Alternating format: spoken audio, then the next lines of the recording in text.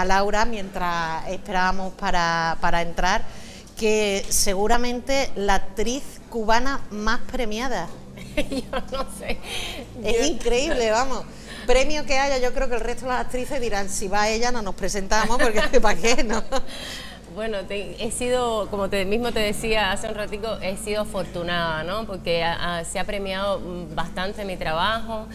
Eh, soy la única actriz cubana que tiene dos premios corales, en el Festival Internacional de Cine de La Habana, lo cual es un privilegio enorme. Y claro, vivo muy agradecida de la vida, la verdad, pero bueno, también he trabajado mucho, me he preparado y, adoro, adoro mi carrera, adoro actuar, adoro el arte, ciencia de actuar, digamos, ¿no? De observar, de investigar, me fascina, así que nada. Bueno, Laura es medio andaluza, ¿eh? bueno, primero cercanía. soy media asturiana, ¿eh? Por abuelo, soy media De abuelos asturianos, y luego su pareja andaluz y entonces, bueno, conoces Málaga, conoces Andalucía, pero sí que es verdad que es la primera vez que vienes al festival. Sí, es la primera vez en el Festival de Cine de Málaga, que me parece un festival maravilloso, porque es un festival que es como la fiesta del cine español. Y eso lo comentaba con mi pareja, eh, que eh, me parece algo maravilloso ¿no? que suceda. Es, una, es esencialmente un festival para celebrar el cine español y bueno, estamos nosotros de invitados felices también, ¿no? Como ustedes cuando los tenemos invitados en el Festival de Cine de La Habana. Y es primera vez en televisión en Andalucía, así que es un día muy bonito para mí, que me encanta. No, nos parece estupendo que además eh, seamos nosotros los que los que hagamos posible ese estreno de Laura en la, en la televisión local. Eh, Laura, eh, háblanos de, de, este proyecto de vestido de novia. yo sé que hay mucha implicación, que es uno de esos personajes eh, fuertes. Eh, sé que además eh, Marilyn Solaya tiene que creer ciegamente en, ella como actriz porque prácticamente lleva todo el peso de la película. Sí, bueno, la película efectivamente requirió de mucho trabajo previo, de mucha investigación, una investigación ardua de todos los actores tengo la suerte de trabajar en la película con dos grandes actores cubanos, que seguro acá lo han visto, bueno, con tres, porque está Jorge Perú Borría, que es nuestro actor más internacional, digamos. el que va abriendo puertas, sí, el que va abriendo puertas para todos los actores cubanos, esa es la realidad. Y después, bueno, comparto con Luis Alberto García, que es el que hace el personaje de Ernesto, mi pareja, dentro de la película y con Isabel Santos. Los dos son grandísimos actores a quienes además yo admiro enormemente del cine cubano, de la historia del cine cubano. Pero fue un trabajo muy interesante porque nos tuvimos que adentrar en un tema, la verdad que bastante poco conocido en profundidad por todos nosotros, y nos incluimos, o sea, todos nosotros, digo, la población en general, la sociedad en general. Y, pero a la vez fue un trabajo, por eso mismo fue un trabajo muy enriquecedor, aprendimos mucho, y ahora estamos recogiendo, eh, estamos cosechando lo que sembramos, digamos. El público lo ha agradecido mucho. Es, la, es una película inspirada en la historia del primer, la primera mujer transsexual operada en Cuba. Una mujer muy valiente por demás, abrió las puertas para las demás y es un poco inspirada en, su vida. En su vida, ¿no? Y en, esa lucha por, por decir, bueno, aquí estoy y tengo mis derechos y, y, lo que, quiero es una vida normal. Exactamente, y quiero lo que cualquiera, vivir eh, tranquilo, vivir enamorado. Con todos sus derechos, eh, con, todos sus derechos, con todos los beneficios de estar vivo, ¿no? Nada más que eso. Pero sobre todo, además es una, es una historia más que de una mujer trans es la historia de una mujer, digamos, o sea, cualquier mujer se siente reflejada en ella porque es una mujer que vive en el marco de una sociedad totalmente machista, eh, donde impera el patriarcado, donde existe la doble moral.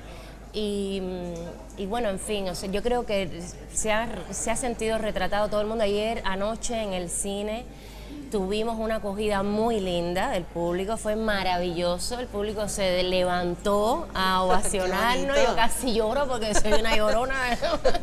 y estar de pronto aquí en Andalucía presentando la película y que sea recibida con ese cariño, a la gente le encantó. Es una película muy dura, pero que uno al final de verla la agradece mucho. Marilyn Solaya es una de las, de las solo tres directoras mujeres cubanas han filmado en La Habana. Esperemos que además que esto cambie. Pero por el ICAI es la, la, tercera, o sea, por el Instituto de Cine Cubano es la tercera mujer que ha filmado, ha sido también muy valiente, una mujer que es de mi regeneración también. Yo creo que eh, eh, os habéis juntado dos mujeres valientes a contar la historia de otra mujer valiente. Así mismo. ¿eh? Y yo creo que ahí, ahí, hay esa complicidad, yo creo que, que trasciende la pantalla, eso, eso se nota, porque además yo sé que, que Marilyn efectivamente, además de ser una de las poquitas, es también muy peleona eh, y, sé que anda ahí peleando muchísimo por una ley de, audiovisual que os proteja. Eh, y bueno, eh, Mira, nosotros sé que ahí hay un camino que ella está abriendo. Importante. Mira, lo que pasa es que nosotras en realidad no formamos parte del grupo que le dicen G20. ¿no? Ahora todos son grupos G7, este es G20. Este, este grupo está formado por casi todos los cineastas en, en Cuba y eh, ellos iniciaron, o sea, empezaron unas discusiones, unas asambleas para elaborar la ley de cine en Cuba. Hemos tenido algunos tropiezos, pero bueno, por supuesto que estamos en conversaciones con el ICAI, con el gobierno y todo, y bueno, pues poco a poco, pues esta ley de cine yo creo que va a ser realidad. Lo que pasa es que en Cuba, como bien saben todos, estamos viviendo cambios, transformaciones importantes para nuestro país, para nuestra sociedad para nuestra economía y, yo creo que va a venir, en su momento va a venir, pero estamos ahí todos. Con esta ola de cambios va a llegar, ¿no? ayer, ayer compartíamos un ratito aquí con Carlos Zapata. Eh, colombiano y nos hablaba de lo diferente que es desde que hay una ley de cine que es mucho más fácil el tema de la financiación, la entrada de financiación privada incluso, y bueno, yo espero que eso sea una realidad dentro de poquito, porque con la, calidad con la que trabajan en el cine cubano, yo creo que cuando además tengáis esa seguridad, ese colchón que te va a dar la ley, eh, vamos a ver cosas lindas seguro. Lo necesitamos sobre todo para que sea bien reconocido el cine independiente, para que entre el cine independiente a formar parte de verdad del cine cubano no que sean dos cines, uno hecho por la industria y otro hecho de forma independiente, sino que ambos cines son cubanos y que eso sea reconocido y que este cine independiente pues tenga la misma posibilidad de financiación que el cine hecho por la industria. Y la industria ha funcionado muy bien hasta ahora, pero ya es momento de que juegue otro rol, otro papel dentro del cine cubano, de apoyo más bien, de distribución, en fin. Pero como veis, la peleona no es solo Marilyn, la directora, sino que, que Laura también también, está, bueno, es lógico, ¿no? Ellos viven el día a día, las dificultades, muchas veces también es importante eh, en este festival eh, la convivencia porque yo creo que aprendemos muchísimos unos de otros, eh, hay la referencia de cómo se está haciendo en un sitio, en otro. Y para los de aquí, para que muchas veces se den cuenta de que a pesar de que se podían hacer más cosas y mejores, pero que tienen suerte a la hora de contar con unas leyes y con unas infraestructuras que te garantizan unos mínimos para poder trabajar. Eh, Laura, muchísimas gracias por la visita. Gracias. Enhorabuena por ese vestido de novia fantástico y espero que nos veamos en más ocasiones. Pues yo estoy siempre presta para venir a Málaga y sobre todo a Andalucía, como verán, o sea, cada más o menos cada dos, tres meses estamos viajando, o, mi pareja va a La Habana, o yo vengo para acá. Desde el primer día que pisé Andalucía me enamoré de esta tierra, de verdad que sí, tenemos mucho que ver. Somos muy parecidos, tenemos una energía muy parecida y eso. Yo creo que sí, que, el charco algún día no, no estaba ¿eh? y estábamos casi pegaditos unos a otros. Luego ya apareció el agua por medio y nos separó un poquito, pero no, es cierto que, además se nota, los caracteres yo creo que somos muy, muy, parecidos. Muy parecidos. Así que nada, feliz de estar acá, de además de estar en la televisión, de tener la posibilidad de llegar a todos, a todos los andaluces, a, todos los malagueños, digamos. Bueno, a todos lados, ¿eh? porque nos van a ver en Madrid, en ah, Valencia, en pues Sevilla. pues nada, yo no voy a hablar solo de Andalucía.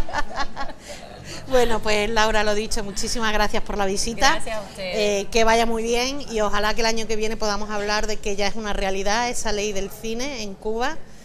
Y nosotros lo que vamos a hacer es ver precisamente imágenes de la propuesta que nos han presentado este año eh, Laura como actriz, eh, Marilyn como directora, que es Vestido de novia. La película se vuelve a presentar el viernes a las 10 de la noche. Por eso hay que ponerle en los el centro. Hay que ponerle los dientes largos a la gente y que, se anime y vaya a verlo. sí. Nada, gracias. Gracias a ti. Encantada.